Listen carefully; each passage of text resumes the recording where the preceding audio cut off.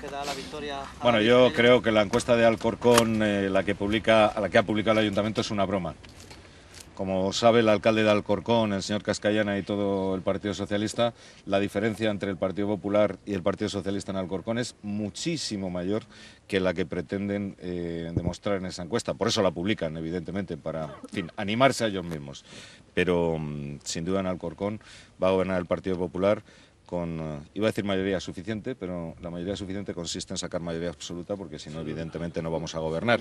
Entonces, eh, las encuestas del Partido Popular eh, son otras. Es que el señor Cascallana va a dejar de ser alcalde el día 22 de mayo y David Pérez, eh, mm, por suerte para los vecinos de Alcorcón, va a ser el nuevo alcalde de Alcorcón. Como digo, la encuesta en la que se nos da una victoria al Partido Popular, pero por escaso margen, es una broma. Es un dinero tirado el que, el que ha puesto ahí el señor alcalde de Alcorcón para intentar dar una sensación que desde luego no se corresponde con la realidad.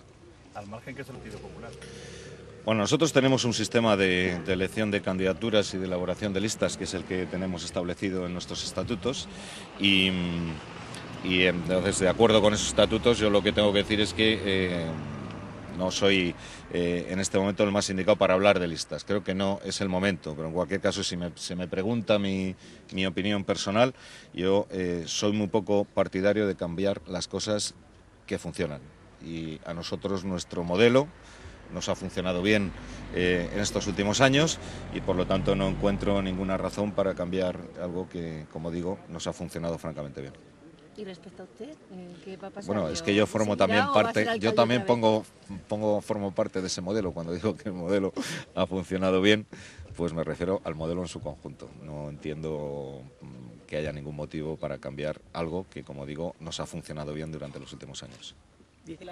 No, no puedo reconocer tensiones en la elaboración de listas del PP por dos motivos. Primero, porque esas tensiones no se están produciendo, y le aseguro que no, que no se están produciendo.